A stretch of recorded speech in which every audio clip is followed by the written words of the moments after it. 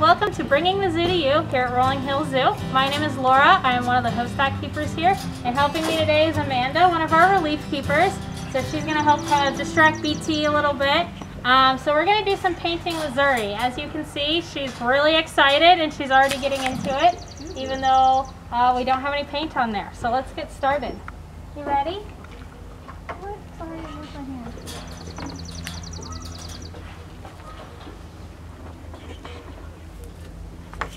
Zuri. Paint.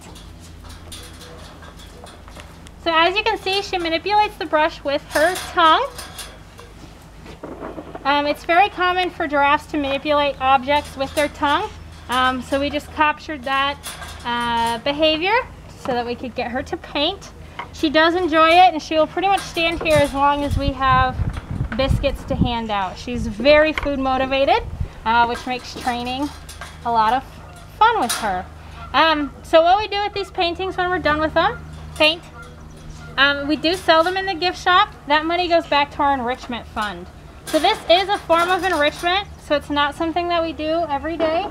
Um, it's something that we do every once in a while uh, because it's stimulating, it's something different, um, and it gives them some a chance to work for some treats. Sorry, paint. Good job.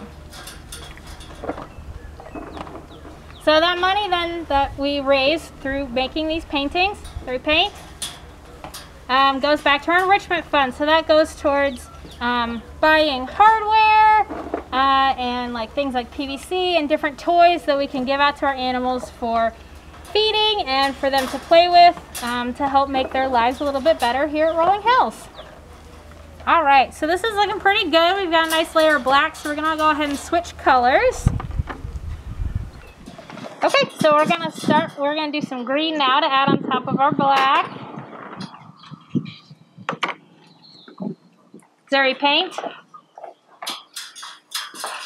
So giraffes has a, have a very long tongue that's very dexterous.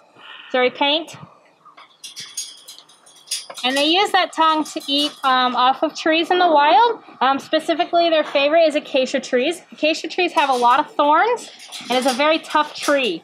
Um, so to adapt to that, to be able to eat those trees, um, their tongue is very tough. Uh, it also, they have a lot of saliva in their mouth, and that helps them break down um, those leaves and the thorns and stuff that they end up eating. Um, and if you can also see, when she kind of sticks her tongue out, how dark her tongue is. Uh, so giraffe's tongue are a dark purple color, and that is to help keep it from being sunburned. So when they're eating and they're um, reaching up in those trees, their tongue is, tongue is exposed to the air quite a bit. Um, so this helps keep it from, from getting hurt. Good girl. Zuri paint.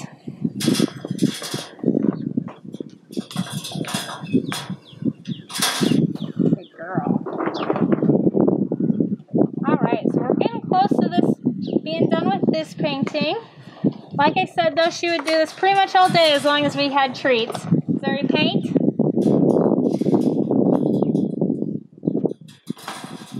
Good girl.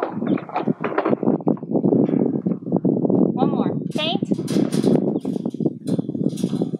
Good. All right, so I think we're gonna call that good for this one. So here's our finished product. Um, so a lot of our animals paint. Um, it's really good for them. It's um, encourages them to, you know, exhibit some of these natural behaviors. It's fun for them, um, and it helps us a little bit too, and helps with um, fun, some, get some money for enrichment later on. Um, so that's it for today's episode of Bringing the Zoo to You. Um, thanks for tuning in.